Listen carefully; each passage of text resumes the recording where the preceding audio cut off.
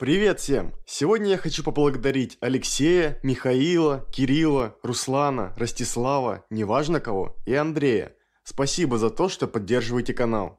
А сейчас давайте перейдем к книге. Книга 21. Вынос мозга. Как маркетологи манипулируют нами и убеждают покупать их товары. Автор Мартин Линстром. Глава 1. Покупай, детка, покупай. Большинство наших предпочтений в сфере брендов и товаров укореняются в нас к 7 годам.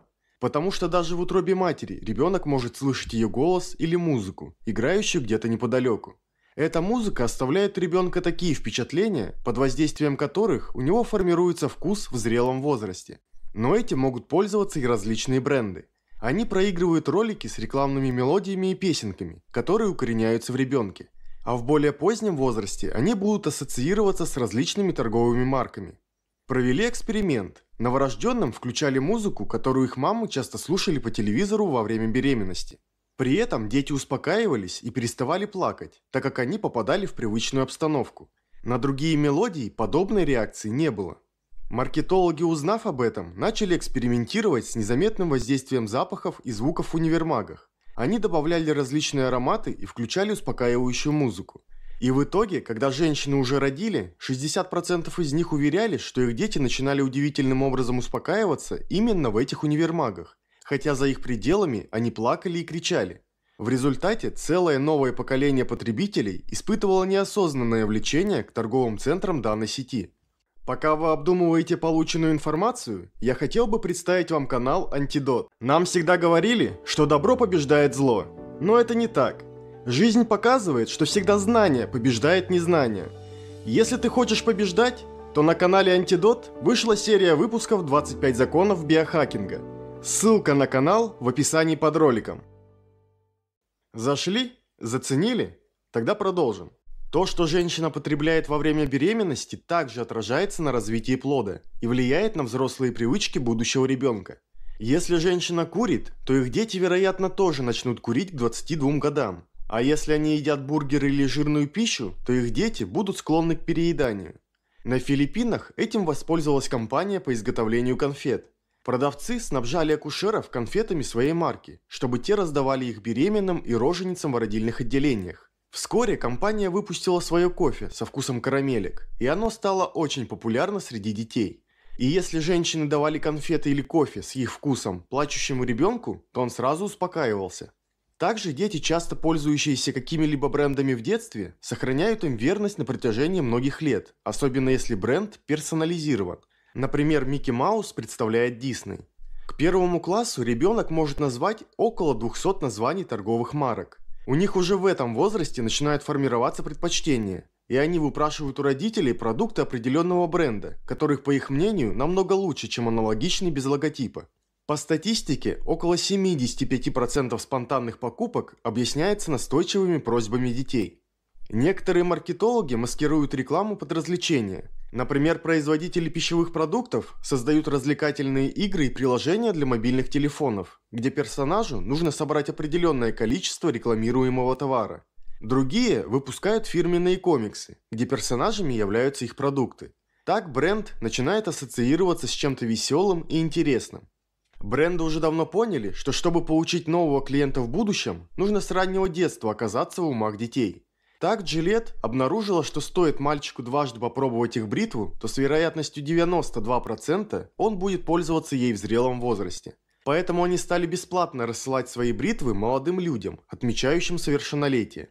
Но не только маркетологи влияют на детей, но и сами родители. Если мать каждый раз покупает один и тот же сок, то, вероятно, и ребенок будет в дальнейшем его покупать. Так рождаются предпочтения на всю жизнь. Глава вторая. Лучшие продавцы – это паника и паранойя. Люди, сталкивающиеся с какой-либо болезнью или вирусом, готовы отдать любые деньги, чтобы исцелиться как можно быстрее. И для некоторых компаний и продавцов это золотая жила. Такие компании акцентируют внимание на предотвращении заболевания, и потому антибактериальные средства продают в таких огромных объемах. Тот же гель для рук в США можно встретить абсолютно в любом месте. И даже несмотря на то, что такие болезни, как птичий или свиной грипп, передаются воздушно-капельным путем, продажа дезинфицирующих средств увеличивается огромными шагами. Потому что эти компании пытаются убедить каждого, что только их продукт поможет избавиться от смертельной болезни. Хотя чистота рук от этого нисколько не спасет. Другие компании в пик свиного гриппа стали выпускать DVD с инструкциями, как от него защититься, а также различные ионизаторы воздуха и якобы сверхнадежные респираторы. Но большинство из этих продуктов дают людям лишь иллюзию защищенности и безопасности. Но человек готов поверить во все что угодно, лишь бы защитить себя от какой-либо опасности.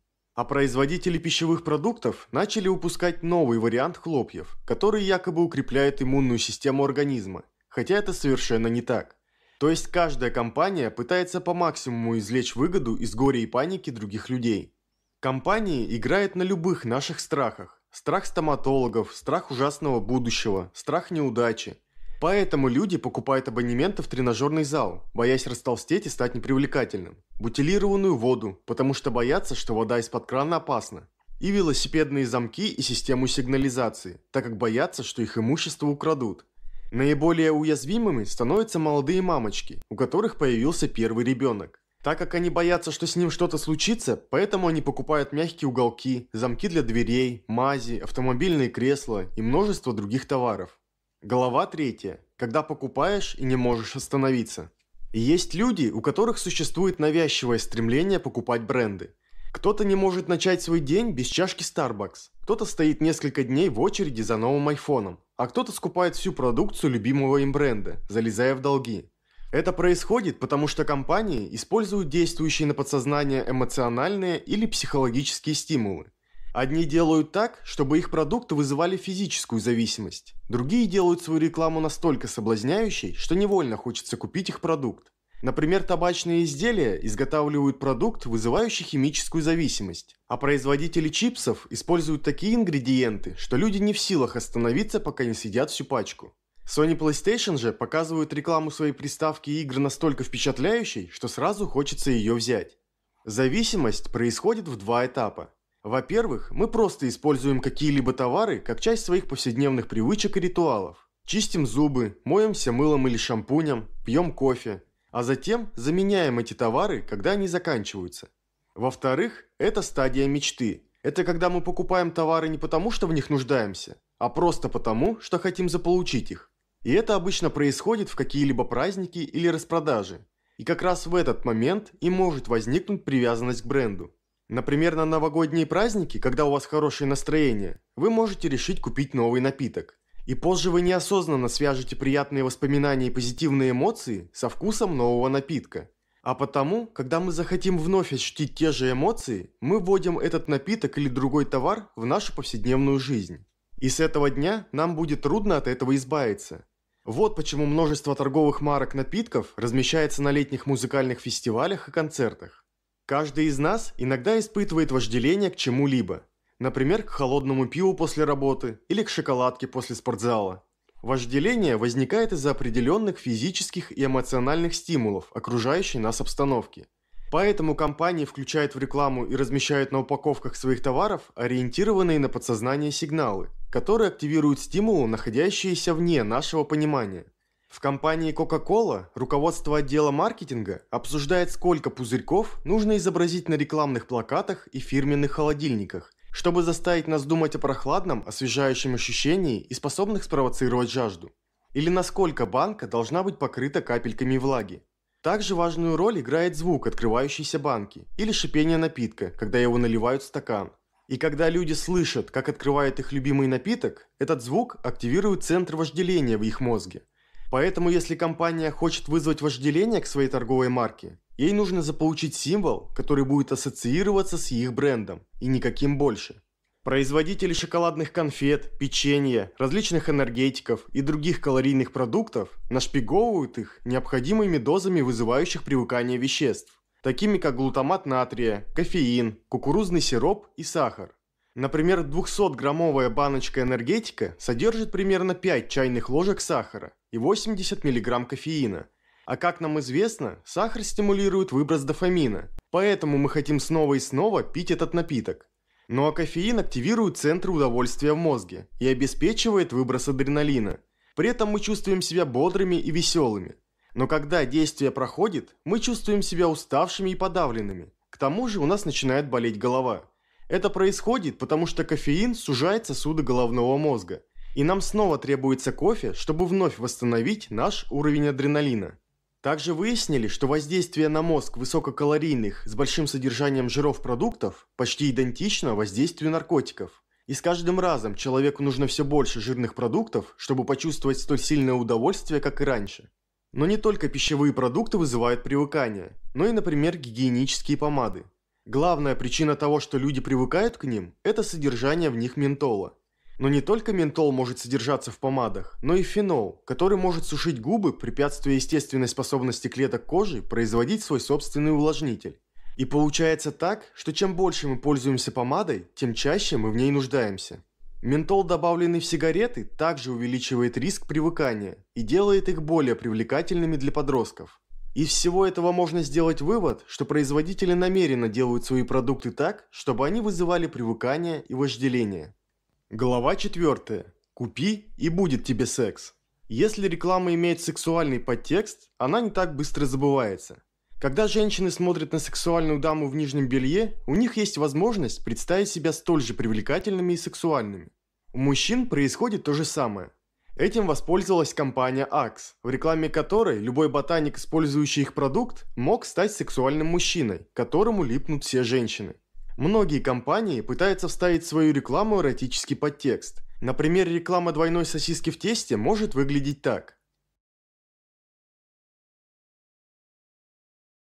Название продукта и его форма также влияет на продажи. Для мужчин обычно придумывают агрессивные названия, например, каму, что означает камуфляж, или эрейзер, уничтожитель. А флакон для духов можно сделать в виде гранаты. Все это предназначено для того, чтобы мужчина чувствовал себя сильным и мужественным. Глава 5. Смотри на меня. Делай, как я.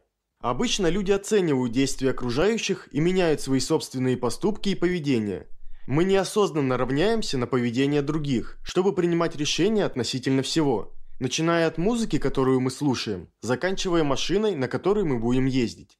Провели эксперимент, пригласили одного из лучших музыкантов мира, чтобы он сыграл на скрипке Страдивари стоимостью 3,5 миллиона долларов на станции метро. Большинство людей прошло мимо, принимая данного человека еще за одного попрошайку. Но на самом деле это результат коллективного сознания – Почти никто не остановился, потому что один пассажир, торопясь или не разбираясь в музыке, прошел мимо играющего. Следующий подумал, что раз первый не остановился, то здесь смотреть не на что, и так подумала вся толпа. Всем маркетологам известно явление, что люди хотят того, чего хотят другие люди. И с самого начала они создают иллюзию того, что товар раскупается так быстро, что компания не успевает поставлять продукцию в магазины, хотя они специально снижают производство, чтобы создать ощущение дефицита. Но если продукт и вправду быстро раскупается, то на него начинает увеличивать цену, чтобы получить большую выгоду. И покупатели готовы платить гораздо больше, чем товар стоит на самом деле. В настоящее время, прежде чем что-то купить, люди читают от 4 до 7 отзывов в интернете. И хоть каждый и понимает, что 25% отзывов оставлены маркетологами или специально нанятыми людьми, мы сознательно игнорируем это и все равно доверяемся им. Или магазины сами создают специальный раздел, в который помещают все самые популярные товары, которые покупают множество людей, вклинивая туда несколько товаров, за размещение которых им заплатили. Другие люди покупают себе брендовые дорогие вещи или машины, так как думают, что тем самым они смогут купить себе популярность и признание. Подростки же считают, что их любимые бренды помогают им чувствовать себя современными, уверенными в себе и сексуальными. Им все равно, соответствует ли это действительности или нет. Таким образом, чем ниже у человека самооценка, тем сильнее его зависимость от брендов. И чем дороже бренд, тем больше человек хочет приобрести именно его. Поэтому Apple не стесняется продавать свои смартфоны по таким бешеным ценам. Глава 6. Эти сладкие воспоминания. Многие из нас уверены, что трава раньше была зеленее, а пломбир вкуснее. Дом, в котором мы выросли, кажется нам лучше, чем все остальные а оригинальная версия фильма или игры намного лучше, чем его продолжение. Все это называется ностальгией. Ностальгия – это один из самых мощных тайных манипуляторов, и она используется всеми возможными способами, чтобы брендировать наше сознание. Вот почему Дисней начинает пересдавать все свои мультфильмы в виде фильмов и зарабатывает на этом миллиарды долларов. Появилась теория, что у большинства людей есть психологический возраст, и у большинства он не более 30 лет. Компании и маркетологи пользуются этим, продавая спортивные машины Ferrari, которые называют средством передвижения для кризиса средних лет, а также переиздают старые игровые приставки, такие как PlayStation Classic. Все это помогает покупающему это человеку вновь почувствовать себя на столько лет, насколько мы себя чувствуем. В магазинах для лиц старшего возраста обычно включают музыку их времени, что обеспечивает покупателям приличную дозу ностальгии и приятное ощущение чего-то знакомого и близкого. Сейчас можно заметить, что некоторую рекламу делают не идеальной. Например, гамбургер может быть изображен съехавшей на бок булкой. Томаты же могут продавать прямо со стеблем и листьями. А модели могут быть с естественной внешностью, а не как куклы. Это делается, потому что совершенство заставляет потребителей насторожиться. Гамбургер идеальной формы вызывает у нас чувство чего-то искусственного и ненастоящего. То же самое и с безупречными моделями. Поэтому нам так и нравится YouTube, что здесь никто не безупречен, и каждый воспринимается как отдельная личность. Глава 7. Короли маркетинга. В любом возрасте у человека может быть кумир, на которого он равняется и прислушивается к его советам. Например, в детстве дети боготворят различных супергероев или персонажей игр. К 8-9 годам мальчиков привлекают живые личности, такие как звезды футбола или, например, голливудские звезды. Вот почему знаменитости порой рекламируют товары для мальчиков. На фотосессиях звезды могут стоять с каким-либо товаром, продажи которого сразу взлетают. Или могут быть одеты в специально сшитый для них наряд, рекламируя тем самым ту или иную компанию. Да даже случайное фото может сделать продажи. Например, Викторию Бекхэм засняли на камеру при покупке книги. И как только фото попало в глянцевые журналы, продажи книги достигли 37 тысяч экземпляров, и она сразу попала в бестселлеры New York Times. Глава 8. Надежда во флаконах. Помните, в ВК каждый день массово продавали ягоды Годжи, сок из которых якобы мог помочь от всех болезней. Их массово приобретали, хотя на самом деле нет никаких научных подтверждений того, что ягода Годжи оказывает какое-либо воздействие. Люди покупают, потому что маркетологи создают ассоциацию чего-то экзотического со своим товаром. Они подчеркивают, что ягоды имеют дальневосточное происхождение, изображая на этикетках заснеженные горы, что символизирует чистоту, умиротворенность и безмятежность.